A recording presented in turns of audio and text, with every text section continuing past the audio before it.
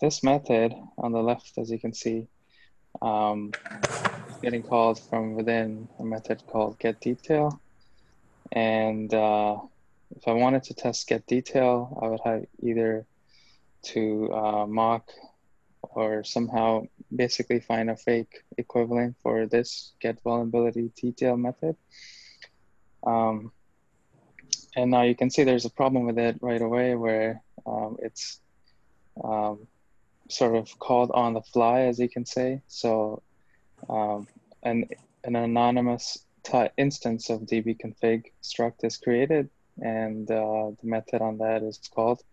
And the reason for that doing that is because today we have get vulnerability detail as a function on the struct, um, which which lives here. So so that's like half the problem solved already. The only the only bit that we don't have is how are we gonna inject. Um, so let me just go back to that. Um, how are we going to inject um, this call site with with the uh, with with one of our own for writing a test? So if you take a look at where the config struct lives um, prior to the change, you can see that it lives here and then it has a bunch of functions on it. Um, some of them are exported, some of them are not exported. But one thing that it's lacking um, and is the other half of the puzzle is that it's not implementing an interface. Um, so um, uh, without you know going into much detail, what I'm basically referring to as um, it's not specifying a spec that other people or other types or other fake structures can implement to be able to mock um, or to be able to create a mock for methods of the config struct. So in Go, fortunately, um, duck typing exists. And for those who are not familiar with duck typing, it's basically in in a, in a short sentence, if you were if you were to put it, it's like if something walks like a duck and talks like a duck, it's probably a duck. So, you know, it's it's um, it's an easy way to sort of say that you don't have to implement all the necessary details of an implementation spec.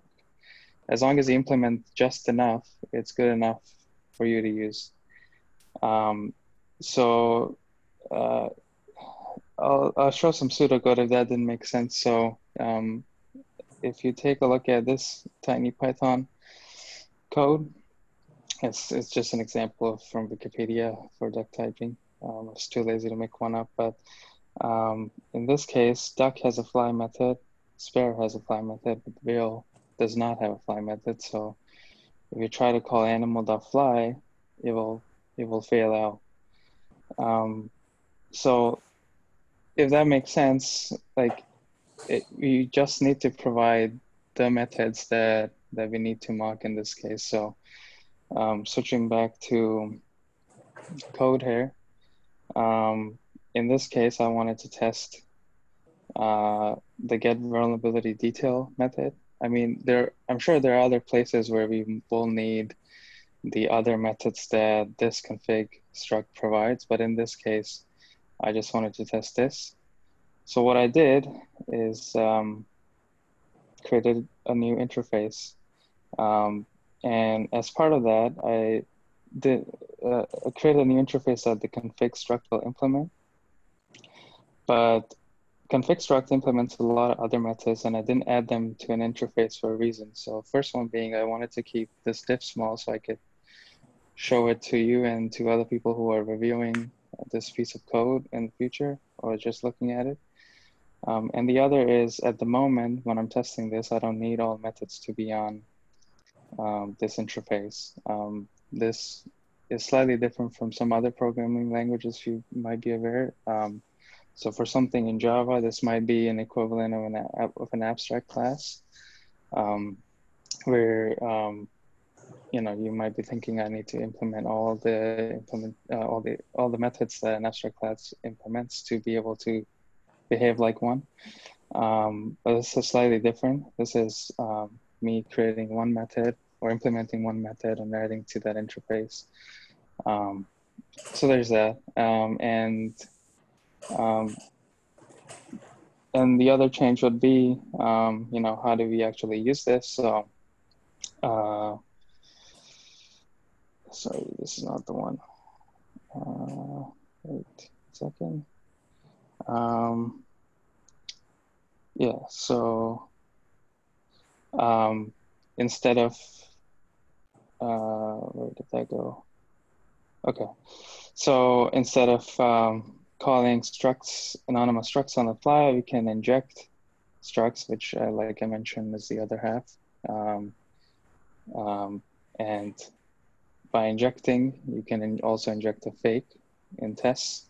So um, that's what I did. So in this case, in the case of a test, um, or first I'll actually go through this. So uh, in the case of the real function, now it calls get vulnerability detail, which you know is a method on dbconfig, and dbconfig is actually now, as you saw earlier, um, uh, an interface.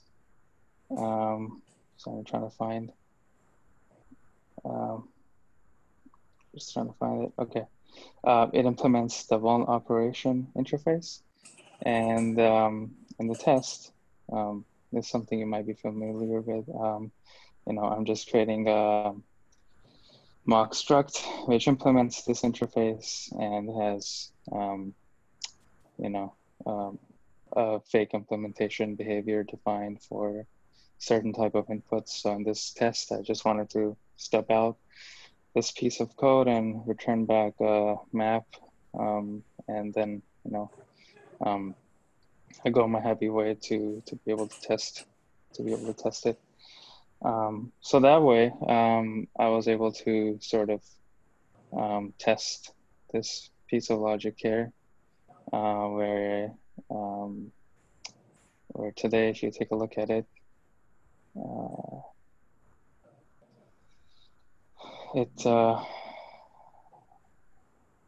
um, it takes a look at something like this where like I have you know um, I mean there's other changes that you know are not relevant to this but um, I have um, I have a method just for this piece of code that previously was untested.